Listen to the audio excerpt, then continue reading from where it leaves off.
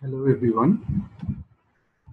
Today I am going to discuss about the last topic of your module 5 of the course virology and the topic uh, to be discussed today is general principles of viral vaccination. So first of all, uh, I would like to start with a brief history of vaccination. So already in the ancient world, it was common knowledge that uh, an individual rarely was infested twice with the same disease. This observation led to the practice of inoculation that uh, has been documented in China more than 1000 years ago, before uh, Dr. Jenner's remarkable study. Even the term uh, immunity was used to in, in, reference to plague uh, during the 14th century. Progress in natural sciences and the development of experimental techniques during the 18th century led to the systematic use of inoculation uh, to fight against smallpox, uh, one of the most serious uh, threats uh, at that time. In the uh, early 18th century, uh, variolation the transmission of uh, small, uh, presumably sublethal volume of uh, volumes of liquid uh, from smallpox uh, pustules was introduced in England by uh, Lady Mary Wortley Montagu. Lady Montagu survived infection with smallpox herself. Impressed with this method of variolation, she ordered the embassy surgeon Charles uh, Maitland to inoculate her five-year-old son uh, after her uh, later return to London in 1721. Lady Montagu introduced the method to the physician of the royal court. Thereafter, uh, variolation became quickly popular among physicians in Europe. However, uh, variolation was not uh, without risk in average 2 to 3% of the variolated person died from the disease. Uh, but the mortality associated with the variolation was uh, very much lower than uh, that associated with the naturally occurring smallpox.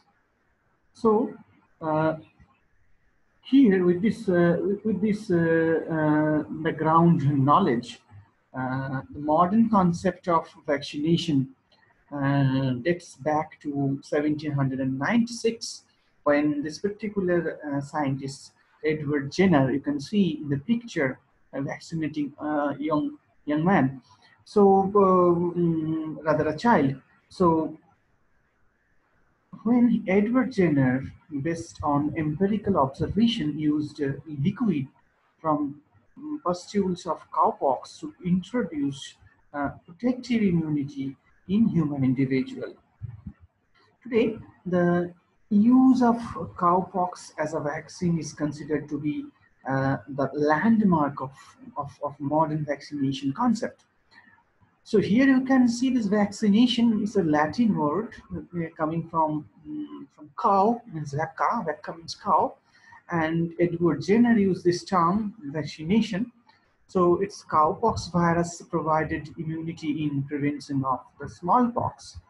And here you can see that in 1796, Jenner deliberately inoculated people with uh, small doses of cowpox, that is the vaccinia virus, from pustules and successfully demonstrated uh, that protection against smallpox uh, could be achieved uh, Jenner uh, termed this uh, this preventive uh, procedure as, as, as vaccination. And uh, uh, over the following decades, inoculation against smallpox using cowpox became widely accepted in Europe. So while Jenner at his, his time neither understood nor could explain the biological basis of vaccination, his concept was successful and provided protection uh, from smallpox apparently due to cross immunity between smallpox and cowpox. Until the end of 19th uh, century, diseases were, uh, were believed to be uh, caused by invisible microbes, uh, which were spontaneously generated uh, in, in response to bad air and other environmental triggers as well as the belief uh, that uh, the belief that uh, a particular group believe that, uh, that, that imbalance in the body caused what were actually infectious illness. So progress in microbiology as well as virology uh, since the late 19th century elucidated the modern concept of communicable disease. And the two pioneers are Louis Pasteur and Robert Koch. Pasteur and Koch established that microorganisms were the true cause of infectious diseases. These discoveries lead to the science of immunology. Hence, further advances in, in vaccinology uh, were gained from an increasing understanding of the etiology of infectious diseases and post, uh, post-pathogen uh, interactions. So Louis Pasteur adopts the principle of vaccination uh, for his scientific work. So Pasteur challenged the spontaneous generation theory of microbes, while Robert Koch demonstrated that uh, infectious agents transmit diseases he defined uh, four postulates which uh, established uh, an, an, individual agent as the cause of a disease. In addition, uh, in the late 1870s, uh, Pasteur developed the first uh, attenuation procedure for, for, for, for, for pathogens, mostly focusing on rabies. So uh, Pasteur's approach uh, provided microorganisms less pathogenic but still immunogenic, using animals as a, as, as a, as a live propagating medium. Uh, Pasteur and his, his, his, his, his associates were able to produce attenuated rabies vaccine, attenuated rabies virus rather, uh, of different strains, uh, of which uh, the weakest uh, one would be used to prepare a vaccine. In 1885, uh, the first human individual was vaccinated with a live attenuated rabies vaccine. So he has just attenuated the rabies virus, from, isolated from, from dog. So rabies virus and has, has, has, has um, uh, diluted uh, this particular virus, attenuated virus uh, in different dilutions and the lowest dilution or the weakest strength of the virus he has used for the preparation of vaccine. However, due to technical uh, limitations of the time uh, of vaccine production, uh, fatal cases of rabies in vaccinated individuals uh, occur. Then, uh, what is the terminology of vaccination? So, vaccination is, uh, uh, is, is one of the most effective medical interventions to, to reduce uh, morbidity uh, as well as mortality in infectious diseases. So, it's a tool, we can say it's a tool or technique. The main principle of vaccination is, uh, is, to, is, is, is, the, is the proactive introduction of a of a, of a, of a protective immune, immune response by mimicking the natural interactions of an infectious pathogen that may be virus, that may be bacteria, with the human immune system. So this is the this is this is actually what we are going for, or this is the main principle of vaccination. So the general rule is uh, that, uh, that that the more similar a vaccine is to the disease causing form of the organism, the better immune response to the vaccine. So this is the general rule for uh, preparing a vaccine or vaccination. So what is actually vaccine? So vaccine is nothing but an antigenic material, can be uh, either uh, live or but weakened form of, of, of either bacteria or virus or maybe a killed or inactivated form of these pathogens or maybe some purified material, mostly the proteins or glycoproteins. That stimulates adaptive immunity against the disease, protect our, our body, protect the body of the human being from a particular type of disease, and also stimulates bodies uh, by, by, by, by stimulating body's immune system to recognize the agent as a foreign particle and destroy it and not only destroy it for a single time but it can remember it it can memorize these incidents so this is all about what what is the, is the definition of a vaccine now so vaccine actually uh, actually just boosting us the immune system of our, of, of, our, our immune system. So our immune system is of two types. Our immunity, better to say, immunity is of two types. One is the innate immunity, another one is the acquired immunity.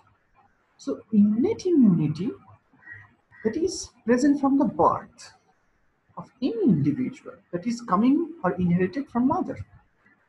So once activated, the same mechanism occurs regardless of which challenges is encountered or previous exposure. And here the response is immediate. The innate immune system represents a first line of host defense against the pathogen that surmount the body's physical and chemical barriers. So what are the physical and chemical barriers? The barriers are skin, ciliated epithelia, mucous membrane, stomach acids, and digestive enzymes. So these are body's physical and chemical barriers. So they are acting uh, for to, to, to, protect our body from, uh, from the pathogens or against the pathogens. So innate defense mechanism are mediated by cellular effector cells and non-cellular effector molecules such as complement or lysozyme. So cellular elements of the innate immune system are uh, generated in the bone marrow and migrate into the blood and then to different tissues of the body. So tissue residing macrophages or the dendritic cells and mobile phagocytic cells such as eosinophil, neutrophil, monocytes, as well as the NK cells, which is natural killer cell, represents the major cellular element of the innate immunity. Next one is the adaptive immunity. So adaptive immunity, uh, which, which is the acquired form of the developed form of immunity by an individual only after a specific challenge is encountered. Means if the individual has infected with a particular disease, then it will develop an antibody. So second time it may combat.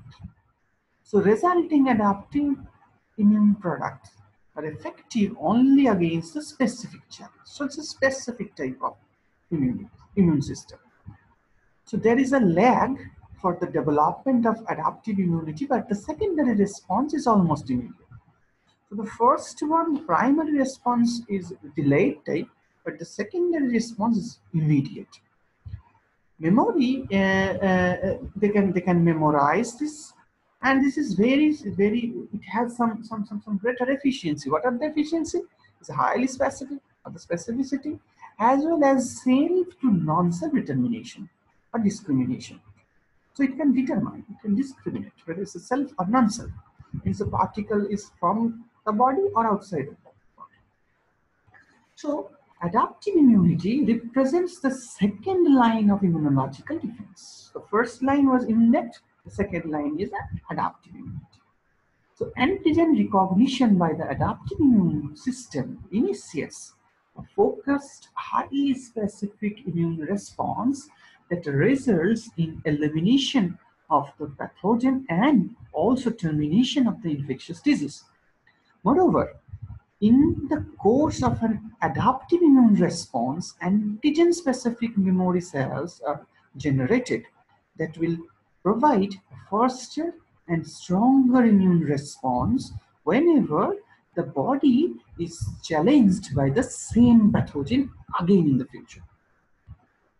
So the cellular elements of the adaptive immune response are lymphocytes that are able to specifically recognize antigens, that is the component of an infectious pathogen and consider it as a foreign particle of the body and potentially dangerous particle, dangerous form. So there are two main subsets of lymphocytes, the B cells, which initially develop in the bone marrow, and the T cells, which are generated in the thymus. Activated B cells can produce and secrete antigen-specific antibodies, these proteins that will bind to the antigen. And T cells comprise of different type of lymphocytes that confer either regulatory or effector function. So T cells with regulatory function preferentially express the cluster of differentiation. It is called the CD. So we can, you, can you can see CD4, CD8 like that, the cluster of differentiation, for cell surface proteins and are referred to as CD4 positive T cells, effector T cells, CD8 positive T cells like that. So that is how adaptive immunity is actually acting here. So what are they doing? They are developing antibody in our body.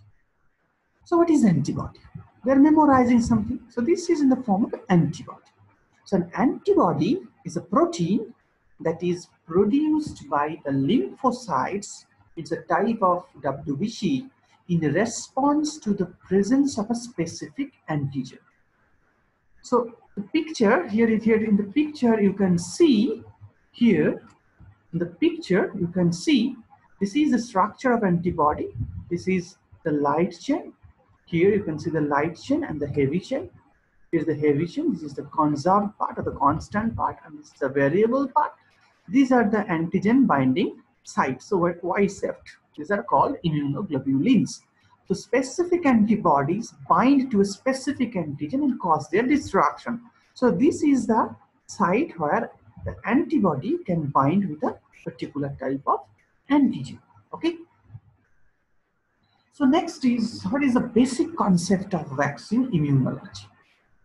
The primary goal of vaccination is the induction of protective immunity against disease-causing infectious pathogen, that is microorganisms like bacteria, virus, fungi, etc., etc. So to achieve this objective of vaccines, mostly are designed, vaccines are mostly designed to address natural defense mechanisms and activate the immune system in a manner similar to natural infections. So vaccine development therefore strongly depend on our understanding of the human, human immune system. The human immune system comprises two major components a compartment. The first one is innate, the second one is adaptive. That I have already discussed. Innate and adaptive immunity works sequentially to identify invading pathogens and in, initiate the most effective defense response. Here you can see the innate immunity, they are acting non-specifically, but the adaptive one sorry, the, but the adaptive one, they are actually functioning in a specific way. In both the cases, is humoral and uh, cellular immune, immunity is there. So this innate one is acting as a first line of defense. The adaptive one is the second line of defense via complement activation, interferons, tumor necrotic factors, macrophages, nucleophiles. These are the primary line of defense. Whereas antigen-specific B cells, antibodies, and antigen-specific T cells that are actually responsible for the second line of defense, acting as a second line of defense and also memorize the T. So the interaction of innate and adaptive immunity is crucial to generate and also to maintain a protective immune response. Mostly this antigen presenting cell, the specialized here, you can see these antigen presenting cells, special, especially the specialized antigen presenting cells are important to bridge the two compartments of the immune system. So antigen presenting cells are bridging these two compartments, the innate one and the adaptive one. Now, if you have administered the vaccine in your body, then what will happen? So initiation of a vaccine response.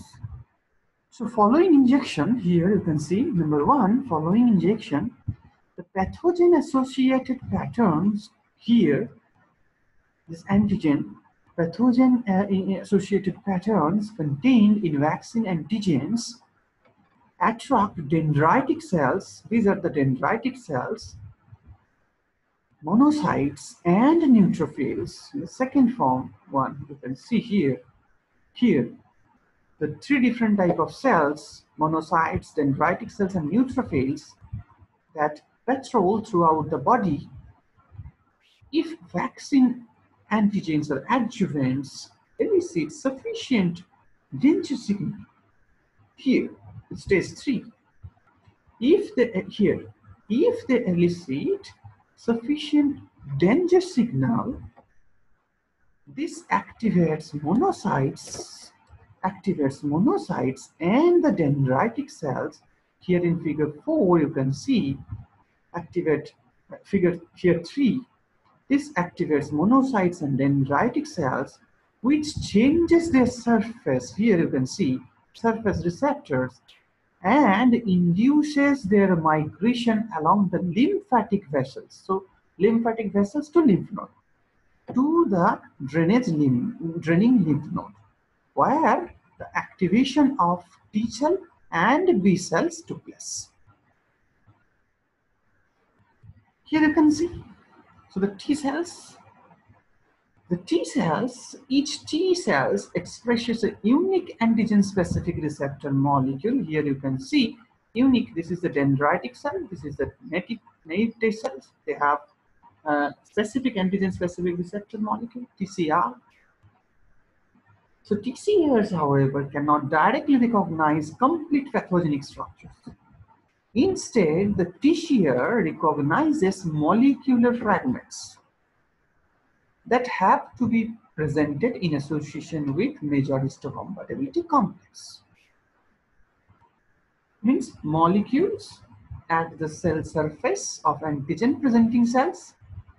In consequence, activation of T lymphocytes strongly depends on the interaction with the APCs and professional APCs derived from the specialized phagocytes termed as dendritic cells ingest pathogen-derived proteins. After phagocytosis, the antigens are broken down and processed and the resulting peptide fragment are transported to the cell surface where they are embedded into the MHC molecule, these are histocompatibility complex molecule. An individual T cell can be activated by a peptide antigen for which it expresses the specific receptor. Moreover, besides its antigen specificity, the TCR means the, uh, the specific receptor molecule, T cell specific receptor molecule, additionally can only interact with the MHC molecule of its own tissue type. This quality is described as a self-restriction and ensures that only cells of the same organism will interact with uh, to, to, to mount an adaptive immune, immune response. So here you can see different type of Th cells. So T cells activated antigen bearing uh, bearing uh, this uh, um, dendritic cells. Uh, so they are actually recognized antigen in the context of MHC class 2 molecule and CD4 T cells uh, fulfill uh, modulatory as well as effector functions. Here you can see that the helper T cells, here you can see different type of helper T cells and the follicular helper T cells, TH1, TH2, they are actually responsible for the promotion of immune response against intercellular pathogen. TH1 and TH2 is activation of the eosinophil and T, uh, a uh, follicular TH is promotion of the antibody secretion from the B cell.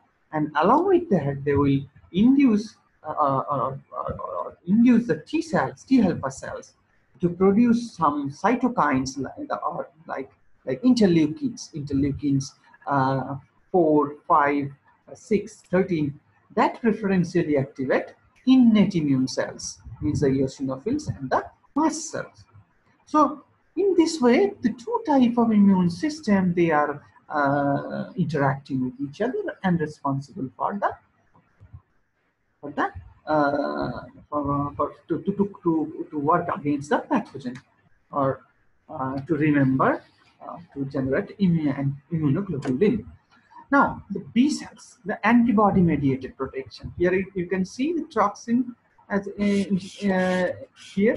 The antibodies produced and three different type of method complement mediated lysis antigen agglutination and opsonization or phagocytosis can happen so this type of cells b cells they represent the second effector compartment of the adaptive immune response like the t cells.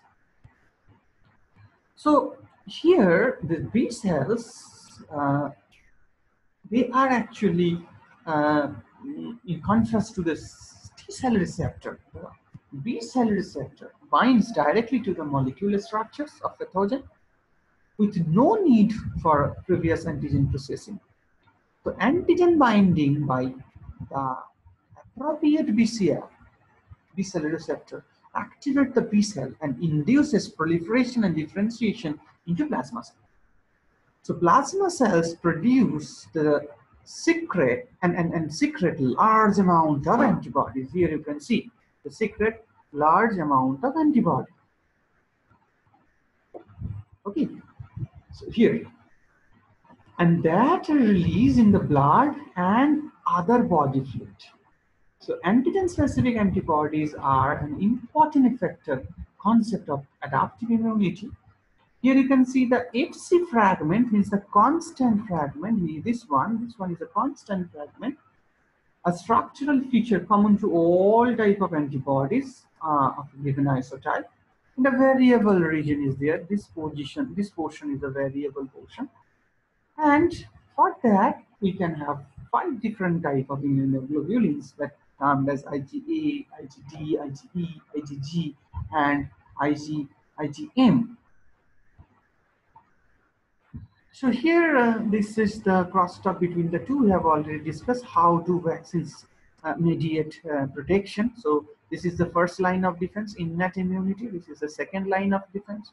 So the dendritic cells, antigen presenting cells, neutrophil, NK cells, macrophages. So there is a movement to the local lymph node and there the antigenic peptides are synthesized. They are actually responsible for this CD4 or CD8 uh, type inducing this and in interleukins like IL4, 5 and 13. So TH2 or T helper cells type 2, they are actually responsible for this function, then proliferation, differentiation, and then the B cells, activating the B cells, and the B cells as well as the uh, cytotoxic lymphocytes so they are actually the B cells are actually uh, uh actually uh, synthesizing the antibodies. The antibodies are either uh, the antibodies or else the cytotoxic T lymphocytes. So these cytotoxic T lymphocytes may interact with the uh, with the pathogen or else the antibody interact with the uh, sorry interacting with the pathogens interacting with the pathogens and then uh, just protecting our body. Now, how immune response uh, occurs after vaccination? So, uh, immune response uh, occurs uh, via activation of B cells after the first encounter with an antigen and subsequent differentiation into plasma cells usually needs 10 to 14 days. So initially plasma cells uh, will typically produce IgM and uh, uh, type antibodies. IgM antibodies are large molecules consisting of five bivalent uh, antibody molecules linked together to exhibit 10 binding regions. So in the further course of the immune response, antibody production will switch to uh, the IgG uh, isotype, which also represents here, you can see this IgG here, IgG uh, isotype, which also represents the major isotype of B cell uh, memory responses here. The B cells memory, memory B cells, B cells responses. So, sorry. So B cells responses or memory B cells depending on the specific circumstances of B cell activation here, here is your B cell activation, here you can see B cell activation, antibody production may switch to IgA, uh, which is secreted to the mucous membrane or IgE, mainly for the defense of, of, of infection by the parasite. In most cases, optimum B cell activation um, and differentiation into antibody secreting plasma cells will only be achieved uh, when, when, the B and both, both the B and T cells are simultaneously activated. B and T cells are simultaneously activated uh, by the element of the same pathogen. So T cell independent direct activation of B cells occur only in response to uh, repetitive antigenic structures such as, such as carbohydrate found in bacterial cell wall. Uh, these T cell independent responses are characterized by the secretion of low affinity antibodies of IgM type. So uh, after that, extrafollicular and germinal uh, center responses to protein so in response to protein antigen reaching the lymph node, so they are reaching the lymph node of or, or the spleen, B cells. So here you can see they are uh, uh, reaching the lymph node. Now you can see so B cells capable of binding to the to this antigen uh, with their surface immunoglobulin uh, undergo a brisk activation. So this step one, step one, this is a brisk activation and uh, in, in, in, in, in an extra follicular reaction, the extra follicular reaction, B cells rapidly differentiate into plasma cells in stage, stage, stage two. Uh, here you can see in stage two, here, here you can see in stage two. So B cells rapidly differentiate uh, into plasma cells and that produces low affinity antibodies like IgG and IgA isotypes. That appears at low levels in the serum within uh, a few days after immunization. So you can see here low level after immunization within few days. So antigen specific T helper cells, uh, TH here you can see antigen specific T helper cells here, stage 5, this one TH.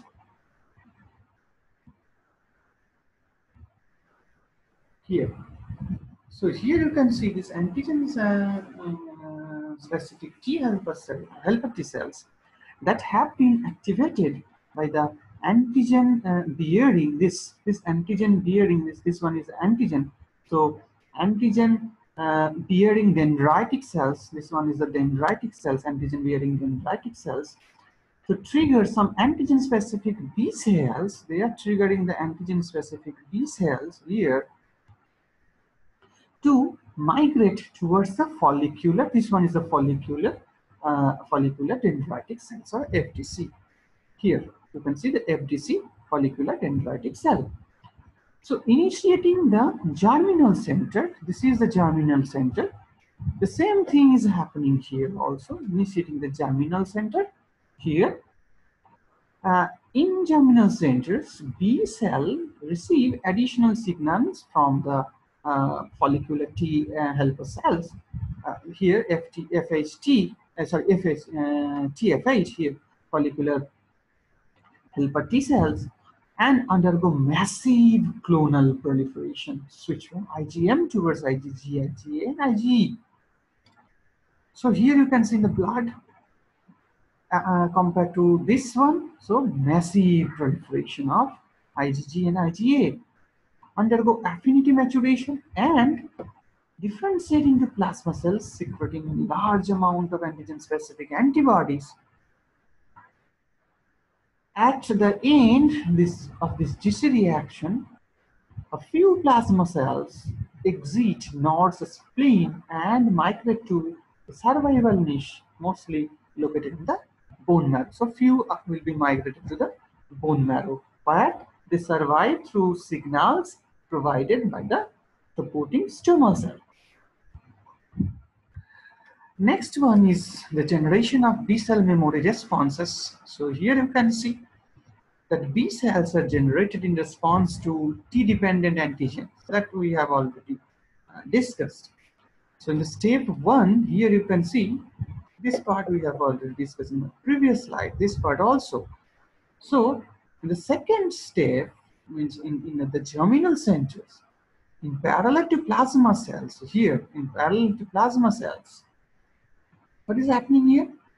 So at the exit of GCs, these B cells do not differentiate into antibody secreting plasma cells, but in memory B cells that transiently migrate through the blood. This is they transiently migrate through the blood.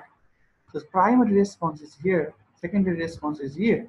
So transiently migrate through the blood towards the extra follicular areas. This is the extra follicular area they persist there as uh, resting cells until re-exposed to their specific antigen. Upon secondary antigen exposure, so if this is this is this this dotted line, this is the this line and this solid line is a primary expose response, primary antigen exposure, and this dotted line or the dashed line is a secondary exposure. So as I said, adaptive in case of adaptive, secondary response is immediate. So here you can see upon secondary antigen exposure here, upon secondary exposure, memory B cells, this one, these memory B cells are readily proliferating and differentiating to plasma cells here in stage 7 secreting large amount of high affinity antibodies here you can see large amount of high affinity antibody that may be detected in the serum and within few days after boosting. So this is how the B memory cell response took place. So the principle of vaccine development, so mostly what is happening in our body. So in case of a pathogen infection, so pathogen invade in our body, that is infection is causing some disease or higher toxin production. And then our immune system uh, will try to protect it if it can. The individual will definitely be cured and will be protected and vaccine we are using the same thing only just reducing its virulence property but antigenic property remains same here the antigens relevant for protection adjuvants that controls the immune response so in this case also, same type of immune response took place and our body is protected. So to protect our body, we are giving up exposure of the same type of pathogen so that if in near future this particular pathogen outbreak of this particular pathogen occurs then our body may be safe so it's a protective measure. Vaccine development or vaccination is nothing but a protective step. Now, how this immune system memorize this? So this uh, picture uh, illustrated as illustrated here. So T helper cell, T helper nucleosides plays an important role here. Here the blue line, here you can see the blue line is the T cell response, a T uh, lymphocyte response, and the red line is the antigenic response. The red line is the antigenic response, I'm sorry, antibody response. So T helper lymphocytes play an important role in the regulation of uh, here. Here you can see in the regulation uh, of both the T and B type of cell responses as well as cytotoxic T lymphocytes. However, the most important property of adaptive immunity, this is the innate one and this is the adaptive one. So in most cases, a primary immune response occurs uh, due to this, this one should be I, uh, it's IgM and it's IgG. So the first one is primary adaptive immune response via IgM and the secondary adaptive response via IgG. So it may be months or years and within week uh, primary immune response get took place via IgM. So uh, you can see here, so immunological memory response, uh, response assuring a stronger and a first protective immune response uh, whenever challenged again uh, by the same pathogen. So while the primary immune response uh, response on an average takes 10 to 15, 15 days here, here the primary average response takes here, here you can see the spike. Uh, primary average response, so it may be it may take 10 to 15 days to build up. Immunological memory shortens the immunological uh, reaction time uh, to a couple of days, thereby effectively preventing future reinfections with the same agent. So here you can see secondary infection. So here you can see the time take place, uh, uh, time uh, to pick uh, adaptive response case of primary one. So uh, it is uh, days per week, it's 10 to 15 days. But here in case of second secondary response, the adaptive response, it's hours. So what is the principle of vaccination? So principle of vaccination is a this is the, the primary goal of vaccination is to provide a protective immunity by inducing a memory response to an infectious microorganism using a, a non-toxic antigen preparation. And it is very important to produce uh, immunity uh, of the appropriate kind uh, like antibody or cellular immunity and, uh, and, and, and, and antibodies uh, produced as a result of uh, immunization are effective primarily against extracellular organisms and uh, their products also like toxins. So cell-mediated immunity means T cell or macrophage based induced by vaccination is, is, is very important, particularly in preventing intracellular viral or bacterial or fungal infections. So to the, the, the ultimate goal uh, of any immunization program is to uh, eradicate uh, a particular disease. So this requires uh, that the infection is limited only to humans uh, with, with no animals or en environmental reservoirs and the absence of any subclinical or carrier states in human. So achieving elimination requires a high level of herd immunity so herd immunity means the resistance to the spread of a, of a, of a, of a contagious disease uh, within, within a population that uh, results in, uh, in, in, a, in, a, sufficiently high proportions of individuals uh, are, are, immune to the disease, uh, especially uh, via vaccination. So this requires, requires um, considerable infrastructure, definitely infrastructural supports should be there uh, to ensure that uh, all uh, all at-risk populations are targeted for immunizations. So this has been achieved uh, for smallpox, uh, uh, and also we are close to the elimination of polio. Thank you.